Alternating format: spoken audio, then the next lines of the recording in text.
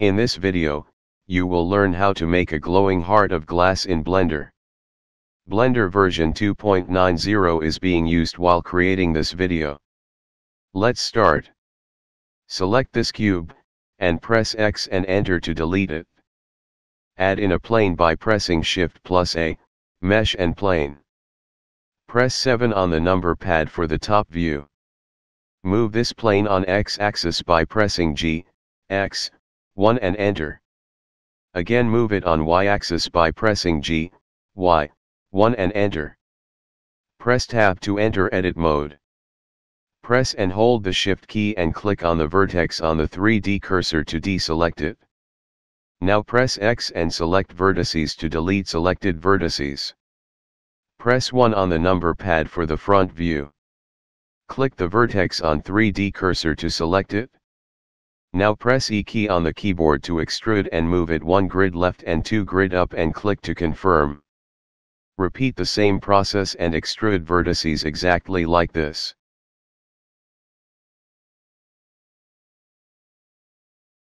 Once extruding is finished, press tab to exit edit mode. Now go to this object menu, click set origin, and click origin to 3D cursor. Come over here and click this little modifier icon, click add modifier and click mirror modifier. Go to this little drop down menu, and click apply.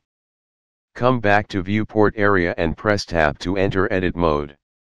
Make sure that these two vertices are selected, and press M and click at center to merge them at center. Now go near to this edge, press Ctrl plus R keys to add loop cut, when you see a little vertex added at the center of the edge, click to confirm. Now press G key on the keyboard twice and move your mouse all the way down like this. Repeat the same process for left side too. Now come up here and press Ctrl plus R keys to add loop cut, when you see a little vertex added at the center of the edge, click to confirm. Now press G key on the keyboard twice and move your mouse all the way down like this. Repeat the same process for left side too. Press tab to exit edit mode. Go to modifier section, click add modifier and click subdivision surface modifier. Set this level's viewport value to 3, click this little drop down icon and click apply. Come back to the viewport and press tab to enter edit mode. Press A key to select all the vertices and press F key on the keyboard to fill. Now rotate the view with middle mouse button like this. Press E, 1 and enter to extrude this heart. Press tab to exit edit mode. Right click on this heart and click Shade Smooth. To fix this shading issue, come down here and click this Object Data Properties icon, click Normals and check this Auto Smooth box. Now come up here and click Object menu, click Set Origin and click Origin to Geometry. Move this to 3D cursor by pressing Shift plus S, and Selection to Cursor. Press 1 on the number pad for front view. Press Z key on keyboard and select wireframe. Press Shift plus D keys to duplicate the object, and right-click to release. Scale the duplicate object down by pressing S, 0.25 and enter. Click this move icon to enable moving hands. Click and drag this blue arrow little bit downward like this. Come here to the outliner section and rename selected object as inner heart. Select this bigger heart and rename it outer heart. Come back to the viewport area. Press Z key, and select solid to switch solid view. Now press 0 key on the keyboard for camera view. Zoom the view little bit with mouse wheel up. Press N key on the keyboard to open properties panel.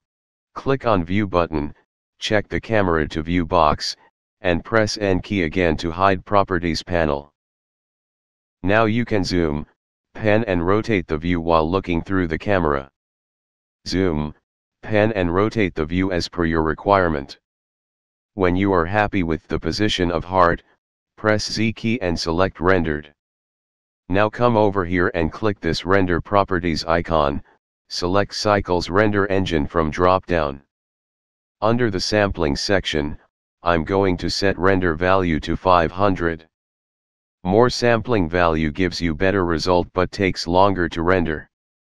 Now expand this denoising section, check the box near render, and choose Open Image Denoising from drop-down.